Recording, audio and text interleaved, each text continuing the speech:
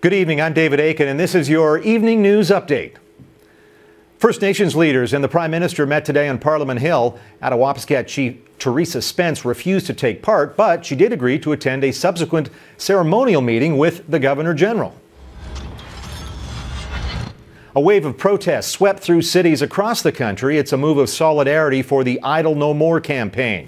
Meanwhile, a statue of Canada's founding father, John A. Macdonald, was defaced in a Kingston park overnight on the eve of his 198th birthday.